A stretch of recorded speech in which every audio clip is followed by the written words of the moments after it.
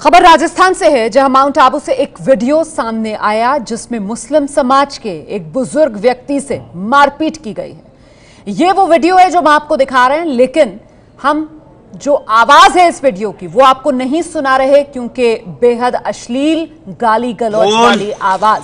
बोल जय श्री राम बोल बोल। बोल जय श्री राम बोल बोल बोल। बोल जय श्री राम तो सुना आपने ये मुस्लिम बुज़ुर्ग है। कैसे इस मुस्लिम बुज़ुर्ग की पिटाई की जा रही है? ये शख्स जो ज़बरदस्ती मारपीट कर रहा है इस बुज़ुर्ग व्यक्ति के साथ। बोल जय श्री राम कैसे पीट रहा है इस बुज़ुर्ग को? बोल जय श्री राम एक बात कर जय श्री राम बोल जय श्री राम जय श्री राम बोल जय श्री राम मत मार। जय श्री राम बोल बोल जय श्री राम मैं विनय कुमार मीणा जय श्री राम बोलेगा आज बोल जय श्री राम बोल हाँ बोल जय श्री राम कोने में बोल जय श्री राम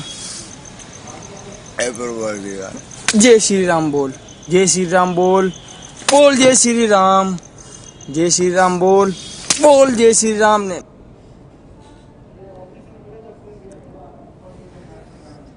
विचलित करने वाली ये खबर है। देखिए कैसे एक बुज़ुर्ग मुस्लिम को ज़बरदस्ती पीटा जा रहा है, थप्पड़ उस पर बरसाए जा रहे हैं।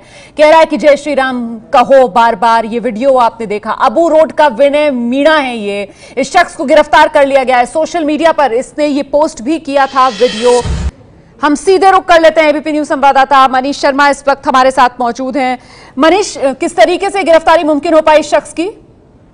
जी, ये वहीं का रहने वाला है आबू रोड का और इसके बारे में जो समाज विशेष के लोग हैं, उन्होंने पुलिस को लिख कर दिया था, क्योंकि इसने वीडियो में अपना नाम और अपनी पहचान खुद उजागर की थी।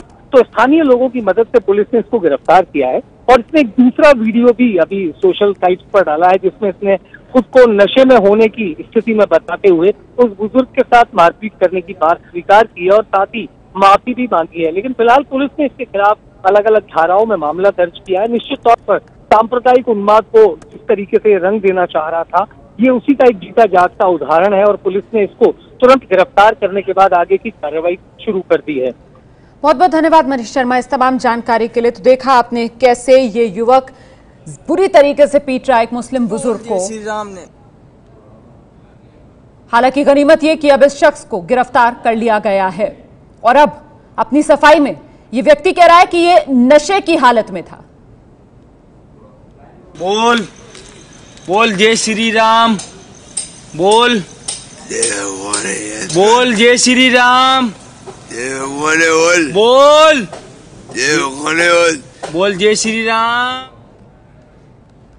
क्या कहा जाए ऐसी खबरों को देखकर? ये है एबीपी न्यूज़ आपको रखे आगे।